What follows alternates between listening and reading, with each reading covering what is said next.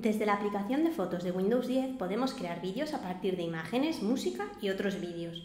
Para hacerlo, comenzamos abriendo la aplicación de fotos. En este panel principal tenemos nuestras últimas fotos en colección, nuestros álbumes de fotos si hemos creado alguno, los proyectos de vídeo, que es el lugar en el que encontraremos los vídeos que creemos con el editor, personas sugeridas a partir de las fotos de la colección y las diferentes carpetas con imágenes que tenemos en nuestro dispositivo. En la parte superior derecha tenemos el icono de nuevo. Si pulsamos sobre él vemos que podemos crear un vídeo automático con música, un vídeo personalizado con música y un álbum. En nuestro caso nos vamos a quedar con las dos primeras opciones. En la primera opción, crear un vídeo automático, nos pide que seleccionemos una serie de imágenes de nuestra galería para crear el vídeo. En este caso voy a pedirle que cree un vídeo con las imágenes de una exposición que vamos a visitar con los alumnos.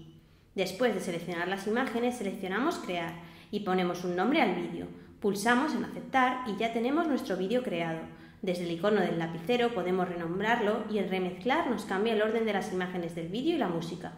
Una vez que tengamos listo el vídeo, podemos exportarlo o compartirlo seleccionando la calidad que más nos convenga.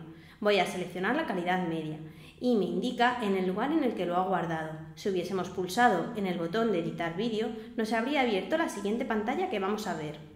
Para crear un vídeo desde cero, volvemos a la aplicación de fotos y pulsamos en Nuevo, Crear vídeo personalizado. Igual que la opción anterior, debemos seleccionar las imágenes y vídeos que queremos que aparezcan en nuestro vídeo final y pulsar en Crear. En este caso voy a seleccionar las fotos de la graduación de los alumnos para preparar un vídeo para los padres. Le pongo el nombre y ya estamos en el panel de edición de vídeo. En los siguientes tutoriales aprenderemos a editar nuestros vídeos desde la aplicación de fotos.